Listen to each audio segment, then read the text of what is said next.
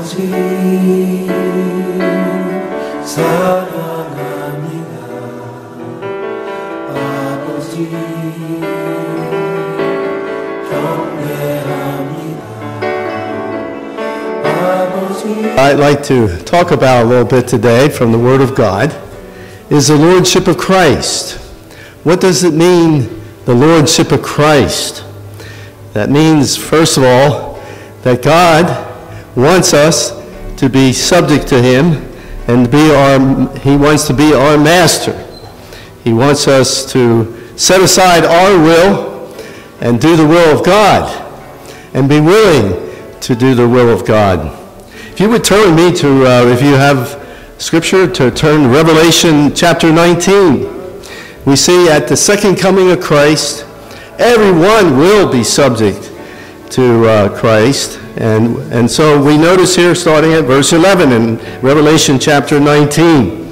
Now I saw heaven opened, and behold, a white horse, and he who sat on him was faithful and true. And in righteousness he judges and makes war. His eyes were like a flame of fire, and on his head were many, many crowns. He had a name written that no one knew except himself. He was clothed with a robe dipped in blood, and his name is called the Word of God. And the armies in heaven, clothed in fine linen, white and clean, follow him on white horses. Now out of his mouth goes a sharp sword, that with it he should strike the nations, and he himself will rule them with a rod of iron. He himself treads the winepress of the fierceness and wrath of Almighty God. And he has on his robe and on his thigh a name written, King of Kings and Lord of Lords. Then I saw an angel standing in the sun, and he cried with a loud voice, saying to all the birds that fly in the heavens, midst of heaven, Come and gather together for the supper of the great God. This is what's going to take place in the future when Jesus comes back to rule and reign here on earth for a thousand years. Now, Jesus came the first time as a humble servant to be a sacrifice for us, but the second time he's coming to be King of Kings and Lord of Lords. and so we read, if you could turn me again to Philippians chapter 2, I'm just going to look at a couple of the verses that you already read. But here in Philippians chapter 2, we notice that Jesus in verse 7 made himself of no reputation, taking the form of a bondservant and coming in the likeness of men, and being found in appearance as a man, he humbled himself and became obedient to the point of death, and even the death of the cross. Therefore, God also has highly exalted him and given him the name which is above every name, that at the name of Jesus every knee should bow, of those in heaven and of those on earth and of those under the earth. Now, as uh, be, being involved in the ministry now full time for 48 years, I've realized over the years that the name of Jesus is a powerful name. And of course, we always close our prayers in the name of Jesus. Because the name of Jesus means deliverer. He's our Savior. And he became a man and became one of us, took on human flesh. But one day, he's going to come back as King of Kings and Lord of Lords. Now, in order for us to allow God to be our master, we become his servant. We become willing to submit our will to his will every day. When we get up in the morning, we say, Lord Jesus, what do you want me to do today? I want to do th- something for you. I want to submit my will to your will. Well, growing up as a young person,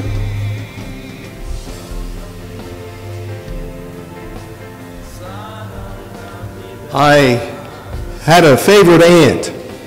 Her name was Bertha. She was a, a nurse. And uh, God called her to be a missionary out in Arizona to the Navajo Indians. And so I remember as a very young person that uh, we sent off Aunt Bertha. She was my favorite aunt, my dad's sister. She became a missionary amongst the Navajo Indians in Arizona, northeast Arizona, way up in the tip of the state of Arizona. And um, she ministered there as a nurse. And she met a Navajo man who was a preacher, pastor. And they fell in love and they got married. And then my uncle was, was now Nazwood, Nazwood Burbank. We adopted him into our family and accepted him. And we were proud that we could be part of his life and ministry as well as my aunt in Arizona. Well, this is one of his paintings, my uncle's paintings. This is a judge, a Navajo, Navajo judge, picture of a judge. And my uncle is in his 90s and he still has a radio program uh, going over to, uh, to, to, so his people in Arizona can hear about Jesus.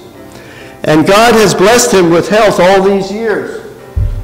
But my aunt got Lou Gehrig's disease and died a very difficult death a number of years ago.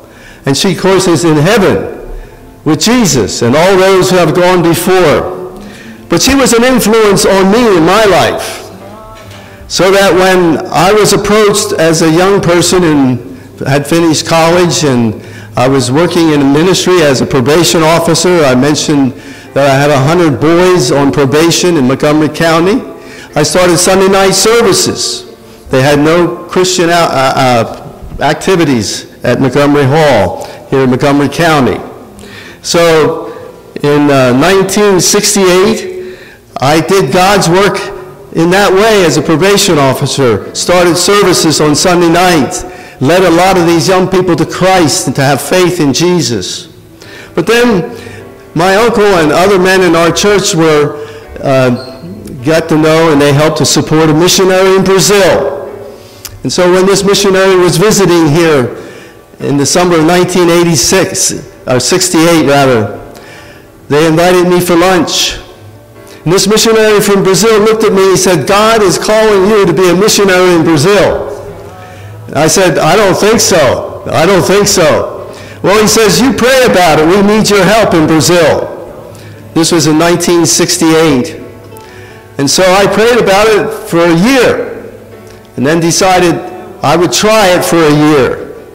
And so the people who prayed for me, who said I should go, that this is God's calling on my life, I submitted my will to the will of God, to Jesus. And I went to Brazil in the beginning of 1969, and I stayed five years, taking the gospel of Jesus Christ to the Brazilians all over southern Brazil. Brazil is a large country, as large and maybe a little bit bigger without Alaska as the United States is. And so I saw thousands of people every night hear the gospel of Jesus Christ. For five years, for one whole month, we would be out evangelizing every evening and then take two weeks off. But what a privilege it was to be a missionary. I had to submit my will to the will of God. But then I got sick with hepatitis and had to come back to America. And then when I came back to America, I was recovering. And I asked God, now, what do you want me to do? You want me to go back to Brazil or do you want me to stay here in America? Well, God seemed to be leading me to stay in America and be a missionary, so to speak, in my own turf, in my own backyard, in my own country, in my own state, in my own town.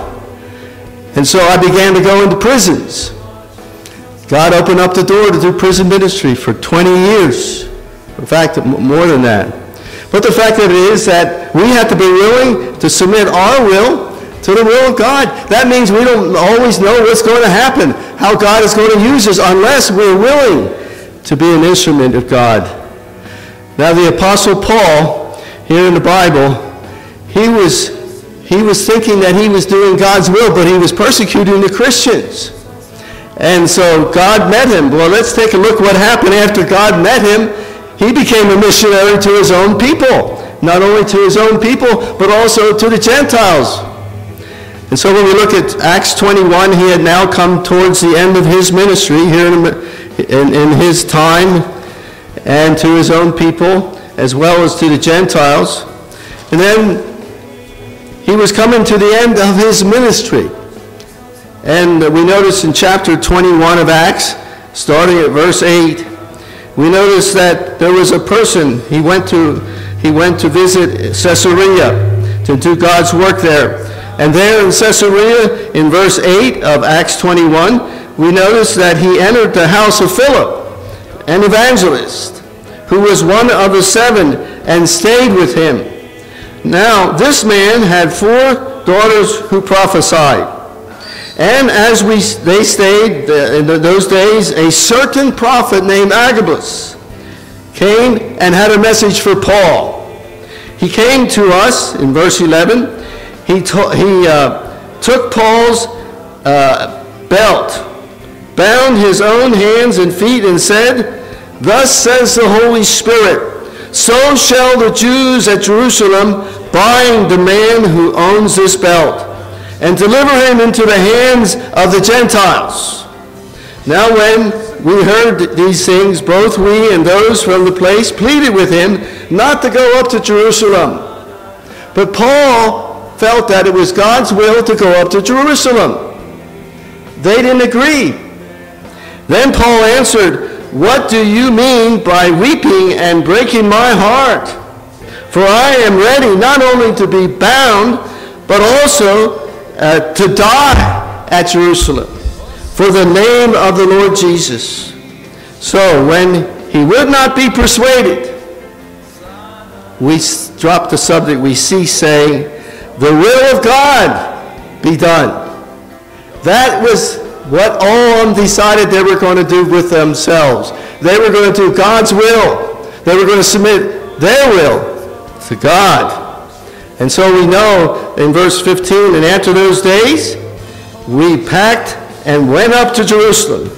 That is, he followed God's leading for his life. Now, it's interesting, you know, that when we're willing, submit our will to God's will, sometimes it may even mean dying for him. Because all around the world today, People are dying for their faith in Jesus Christ. We are blessed to live where we live. I don't know of anybody who's dying in America for Christ. Do you? I realize, you know, when uh, they had that happening in uh, there in uh, Oregon um, or California, was it? That when these terrorists they were picking out the Christians and putting them to death and not putting the others to death. And of course, this was America. Now we notice that Paul now was going on trial. And we notice that he appeared before the governor, Felix. And in Acts chapter 24, we notice, for example, verses 14 and 15, we notice that he was going to be heard by the governor of, of that time. And so we notice in verse 14, and this is Paul's testimony. This I confess to you, Governor Felix, that according to the way, capital W, which they call a sect, so I worship. I worship the God of my fathers, believing all things which are written in the law and in the prophets I have hope in God, which they themselves also accept, that there will be a resurrection of the dead, both of the just and the unjust. This being so, I myself always strive to have a conscience without offense towards God and men. Then we go to uh, verse 30, 21. We notice that Paul says, unless it is for this uh, one statement which I cried out standing among them in, in the temple, and that's why he got arrested, concerning the resurrection of the dead, I am being judged by you this day, governor. But when Felix heard these things, having more accurate knowledge of the way, that's our way in Christ, he adjourned the proceedings and said, When Lysias, the commander, comes down, I will make a decision on this case. So he commanded Centurion to keep Paul and let him have liberty, and told him not to forbid any of his friends to provide for him or visit him, but he was to stay in prison. He was willing to go to prison for his faith. This was Paul, the apostle, the one who wrote all these letters in the New Testament, what, 13 of them. And he was willing to do anything God wanted him to do. Then he later appeared to King Agrippa. we notice that King Agrippa uh, was king. And so he was now appearing before King Agrippa, and you, you read this, this passage this morning a, a little while ago. I just want you to notice a couple things in this passage here in Acts chapter 26. We notice in verse 17, he said, I will deliver you. This was Jesus talking to Paul on the road to Damascus when he was struck down by light, a forceful light, and then he he was encountered, he encountered Jesus. He says, Jesus said to him, I will deliver you from the Jewish people as well as from the Gentiles, to whom I now send you, to open their eyes in order to turn from them from wicked darkness to light, from the power of Satan to God, that they may receive forgiveness of sins and an inheritance among those who are sanctified by faith in me. Then we notice King Agrippa, I was not disobedient to the heavenly vision. My question to you today is, what has God called you to do with your life? Have you heard from God yet what God wants you to do with your life? What does he want you to do for him? And so Paul gave us an example. It was his example that he was willing to do whatever God wanted to do him to do. Well, uh, we notice here in chapter 26 that Paul realized that his time was up. And we know from church history that the Apostle Paul was beheaded for his faith. He was willing to die for his faith. We are a blessed people, as I mentioned earlier. But we notice that when the uh, king heard the testimony of Paul, he was almost convinced to be a follower of Christ, but not quite enough. And what does Paul say to him? We notice towards the end of the chapter, in verse 29, uh, Paul responded to the king. He said, I would to God that not only you, but also all who hear me today might become both almost and altogether such as I am, except for these chains.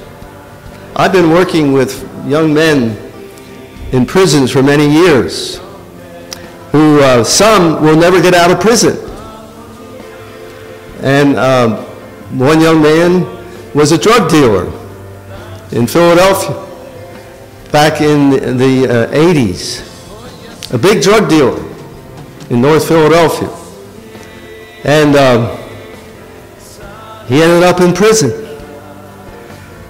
And a friend of mine who also ministers in prisons was ministering at, at a service at, at um, one of the prisons in Philadelphia when this friend of mine was there as a prisoner.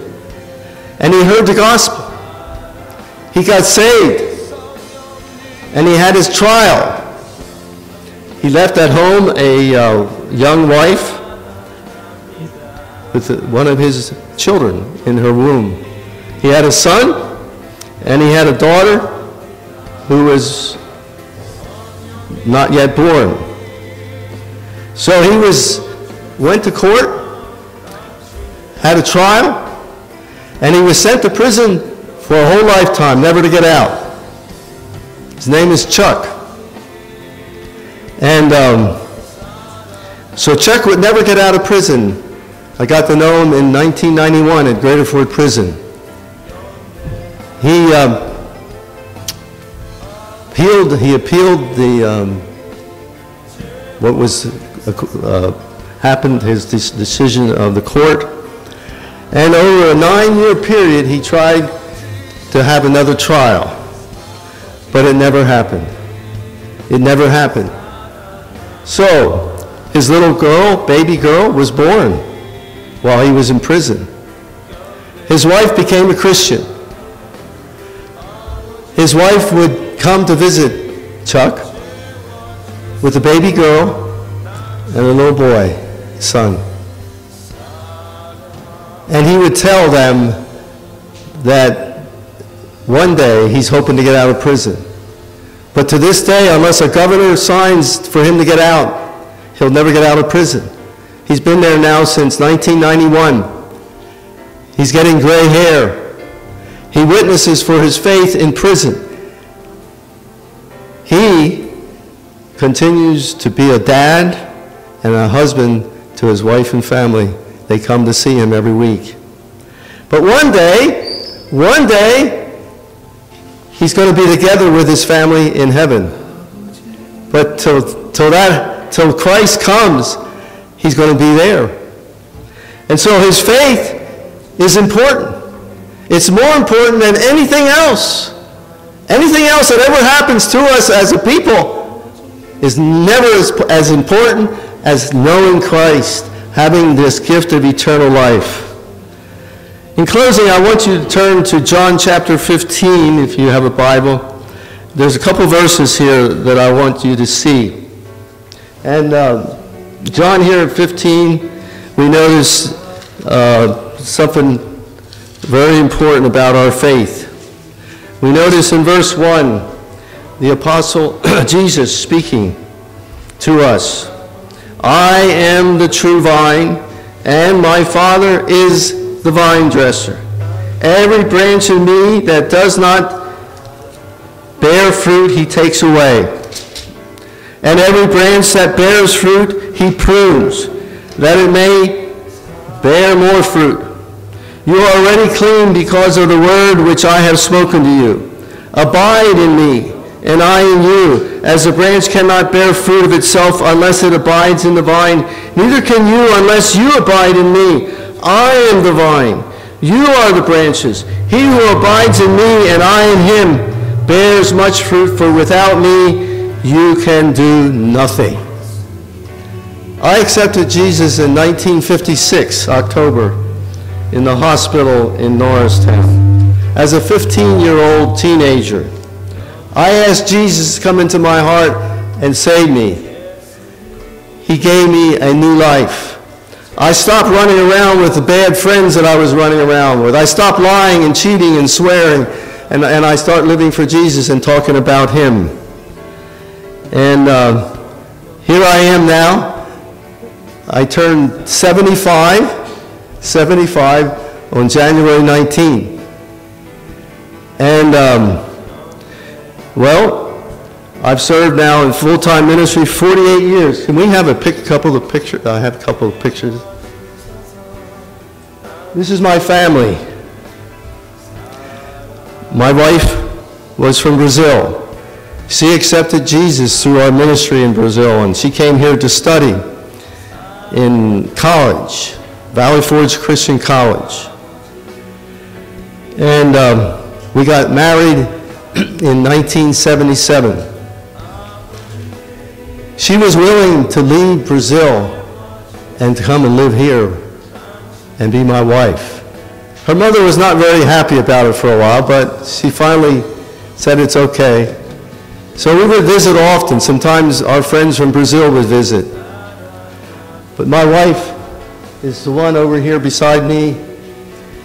And uh, Daisy was her name. They named her, her mother named her after a missionary that she loved very much in Brazil, American missionary. And um, what happened was that she got cancer five years ago. And so for two years at the University of Pennsylvania, I would take her constantly. She died, next month it'll be three years ago. But we have two wonderful daughters. She got married six years ago. This is Christiane in the middle. And my son-in-law is from Egypt. He became a Christian when he was a teenager in Egypt and um, moved to America when he was 17. And well, they got to know each other. My daughter lived in New York and worked up in New York. They got married. My other daughter is Luciana, over on this side. She's still not married, but she um, has had a ministry in prison, and she also has worked a good job. And um, when Luciana was born,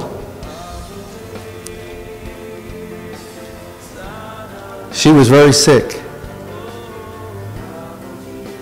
That was in 1978. She was very sick. She hardly moved her arms and her legs. She just laid there. And so we knew that she was going to die as a baby unless God would touch her and heal her. Uh, friends, friends of ours prayed that God would heal Luciana. She was only two days old. They put her in an incubator, and uh, my wife and I, we took a dab of oil, olive oil, put it on her little tiny head, forehead, and we prayed that Jesus would heal Luciana. And I, and I stand up here today as a testimony that within an hour, we saw Luciana start to move her arms, move her head, open and close her eyes, move her legs. They kept her two more days. This was up at Grandview Hospital up in Sellersville, and um, they kept her two more days, and they said, you can take her home with you if you take her for some more tests at, at the Children's Hospital here in Philadelphia. So we took her to the Children's Hospital with all the test results, the x-rays, etc. And they looked her, looked her over and the doctor said, as far as we know, she's okay. You can take her home. So she came home. She was our firstborn. And here she is in the wedding back six years ago. And, um, and then, before my wife passed away, we wanted grandchildren. And so the grandchildren came. You put the other picture. There they are, three of them. And um, you notice that he's my only grandson. His name is Leo. And this is Adriana and Alessandra. My wife never saw the twins. They were in my, in, in uh, my daughter's womb, in her belly, when she died. But someday, my wife is going to get to know her little twin grandchildren. They are a blessing because God wants us to be fruitful, right? And we already are telling our little grandson, my little grandson, Leo, about Jesus. You know, you were singing Jesus Loves Me today. I sang that as a child, right? Growing up. I grew up in church. And, and the fact of it is that I believe if the Lord tarries and if the Lord doesn't come back, that these three grandchildren are grow, grow, grow up to be special uh, messengers of Christ in their lives. And um, right now, he wants to be a policeman, but I tell him, I think you're going to be a preacher someday. But the fact of it is that we need to submit our will to God's will, whatever comes into our lives. I thought that God was going to heal my wife. We prayed and believed that. But God took her. So I had to submit, we had to submit our wills to God. God had a purpose and a reason. and uh, I was blessed to know her for many years, and the fact of it is that we as God's people need to let the Lord Jesus be our Lord Master and our the one who makes who leads us and guides us and makes helps us to make the right decisions.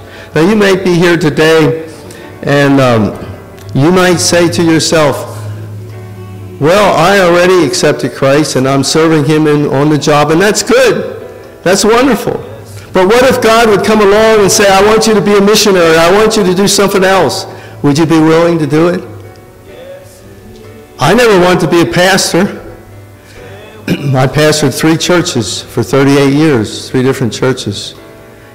A month ago, I retired from being a pastor, and I've gotten to know Pastor Lee at, at some of our pastors' meetings.